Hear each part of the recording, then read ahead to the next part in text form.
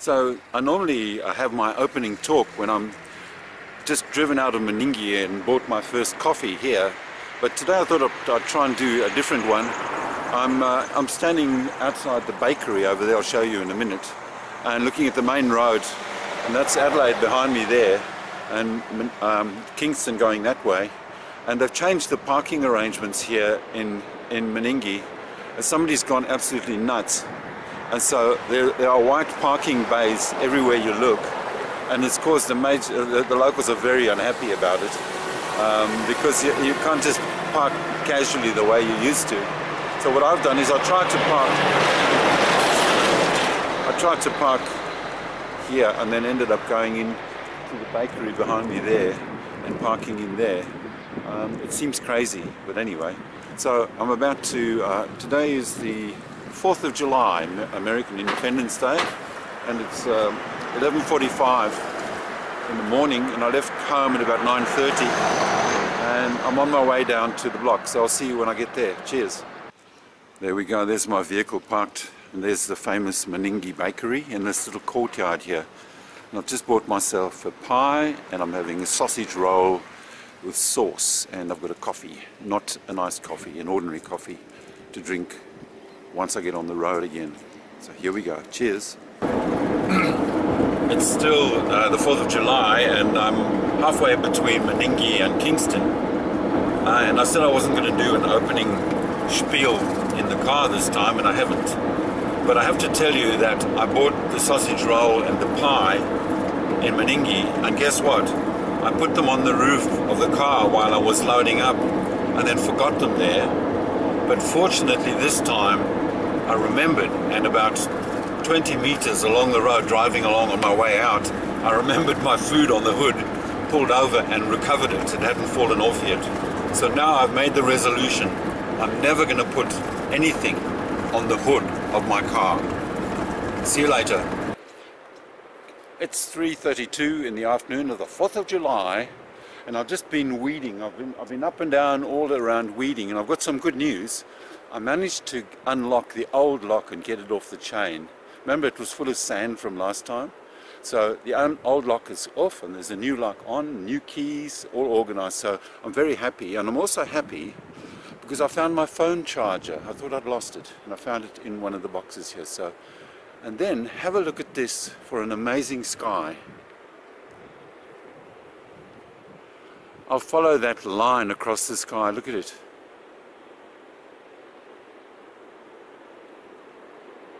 It goes right, it goes coming from the west all the way across to the east. Look at that. Isn't that amazing? So presumably that means a change of the weather because it hasn't rained. I expected it to rain today and I almost didn't come down. But obviously on, on that side of the line is one thing and on this side of the line is another thing. And it's not moving very fast. It's almost like waves on the beach.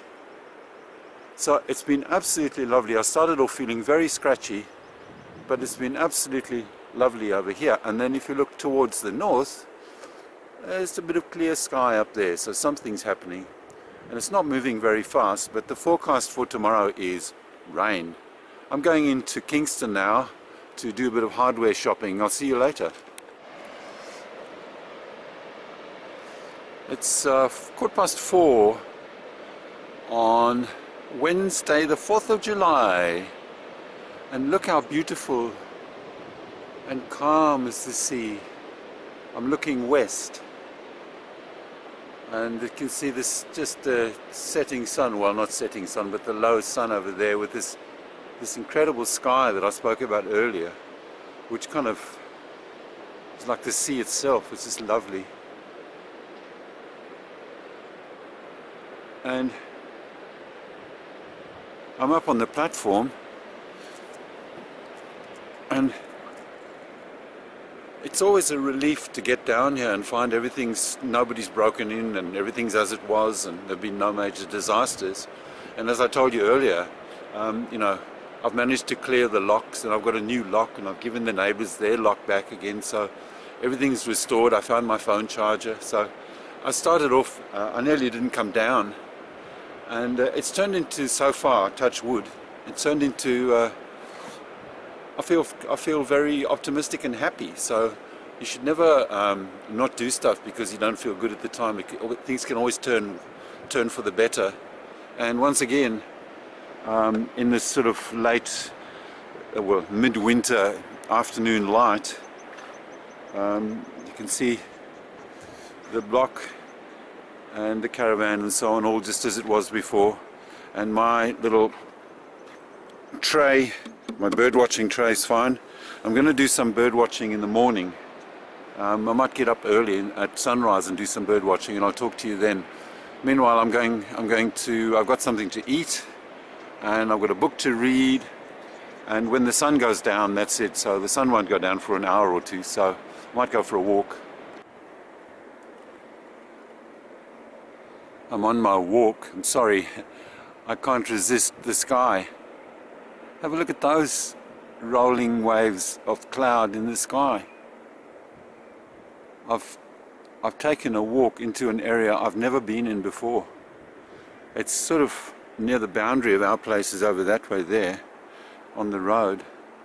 I've never walked here before. Um, and here's one of our friends, or two of them actually, this is a boxthorn, African boxthorn. And I'm starting to think that there, there are too many of them on this place and I might have to do something about them. Do you see the vicious thorns on them? You don't want to get tangled up with these things. They are, I've mentioned them before. They're nasty. So, just an, a day of remarkable sky. Just look at that.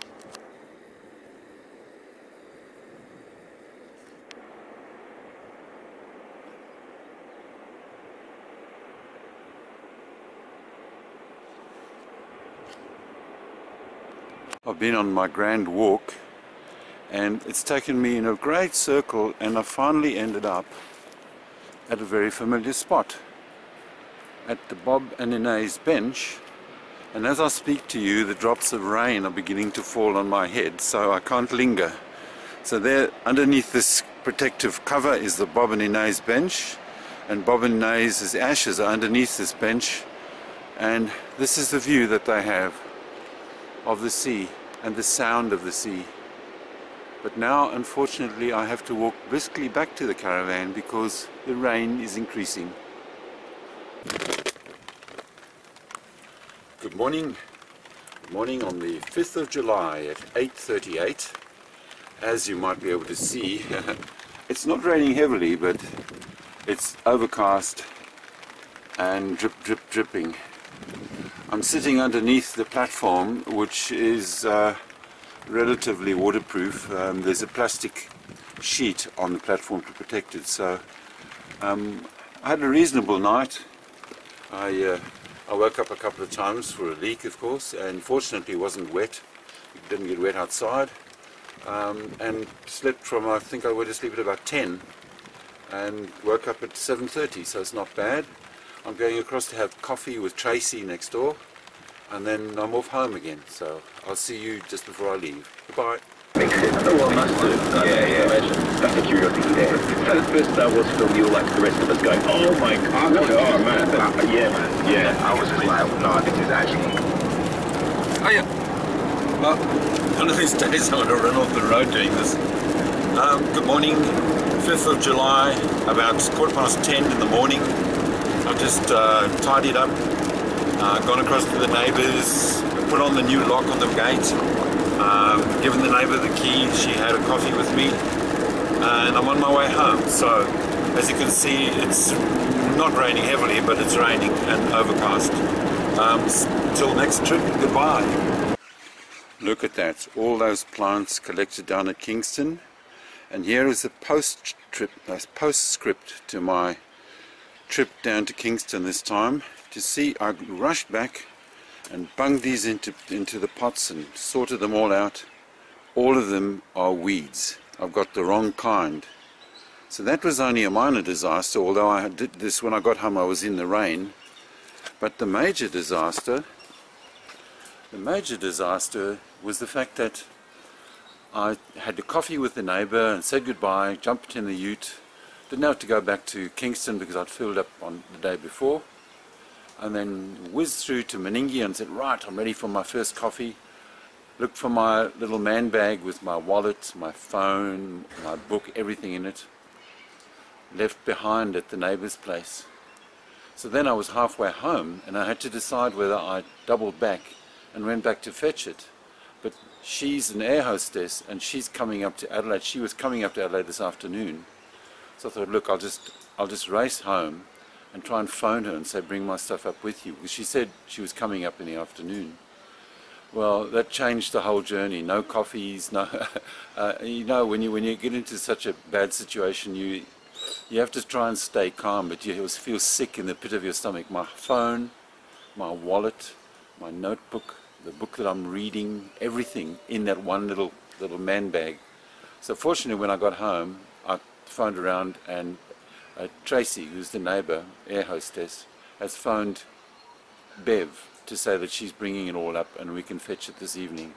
So, ends well, but a lot of heavy stress. So, this definitely is the end of the 4th of July trip. Bye now.